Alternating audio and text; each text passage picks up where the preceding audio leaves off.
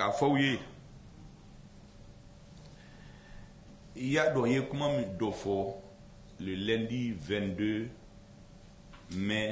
2023 n y'a fɔ CICB la u ye u ka mura ka rapport in bɔ k'u ka Mali sɔrɔdasi tɔgɔ tiɲɛ n ko min dogolen don u kɔfɛ an b'a dɔn olu ɲɛna hakilibaw tɛ farafinw la o kuma in wulila mun kama pour an ka tigɛ an ka sɔrɔdasu la parce n'i tigɛra i ka sɔrɔdasu la jamana tiɲɛna ni jamana tiɲɛna wali sɔrɔdasu bɛ na e mara e bɛ kɛ jɔn ye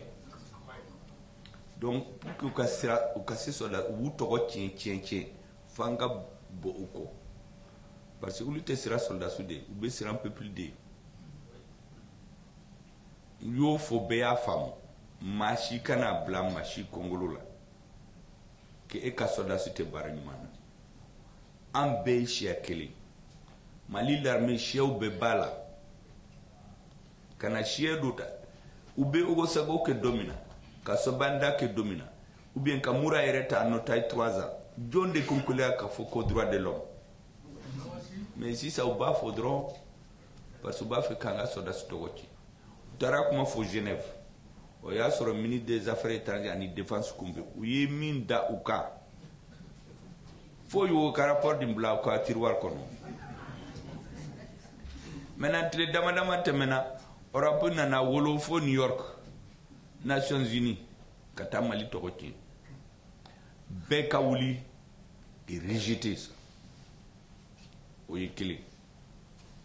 sisan u bɛ ka murumuru k'u de sɔrɔdasiw dɔ sugandi. k'u sanctionner o ye ka sɔrɔdasiw lasiran o i y'a fɔ ni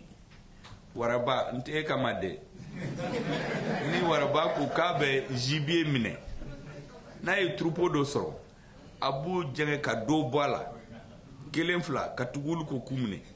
dɔw b'o de kɛ ka ninnu gɛn k'u bɔ mali la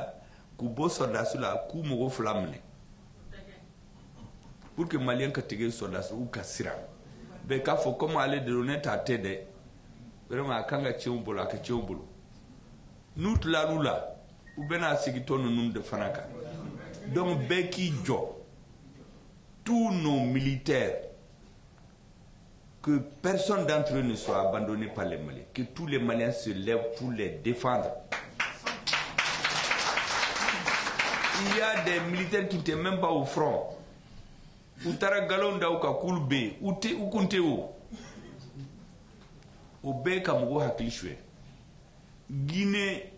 ma solution sera don min ye de pour que k'u lafara u le 28 septembre yado y'a le 28 septembre 1958 c'est touré ko il a dit non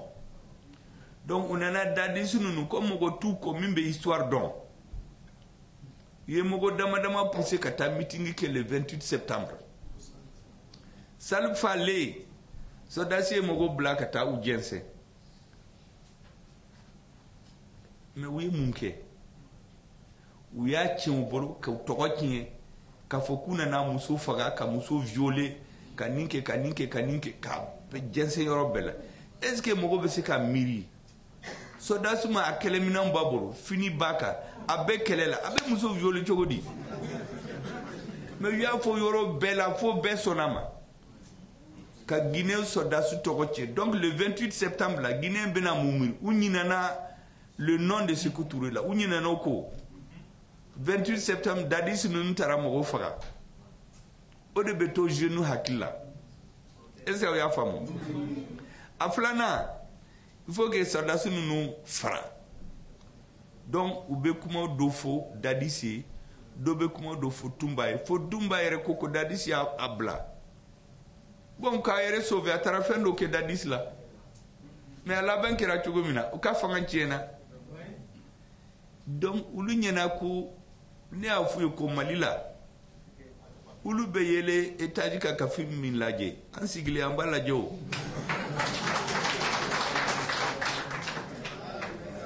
Parce que Bimbo Akila,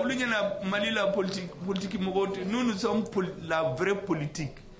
N'était politique mogo minum be t'o nto kamade. La politique ne boto kam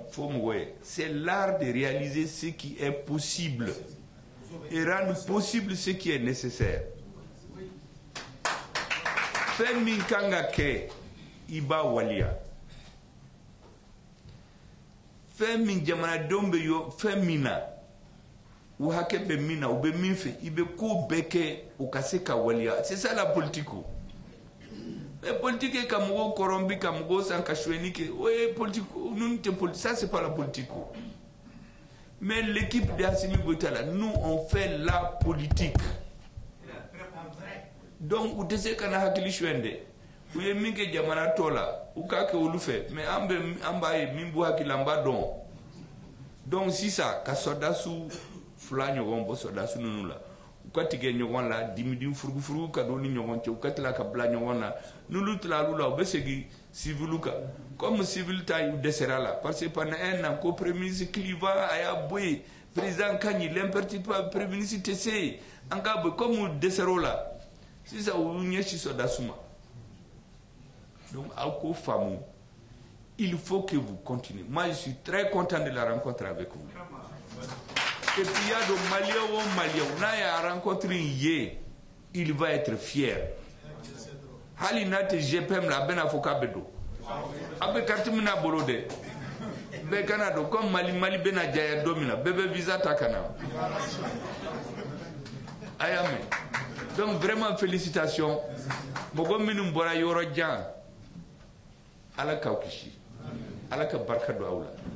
le Mali sera éternellement reconnaissant pour votre lutte. Continuez votre lutte. Dieu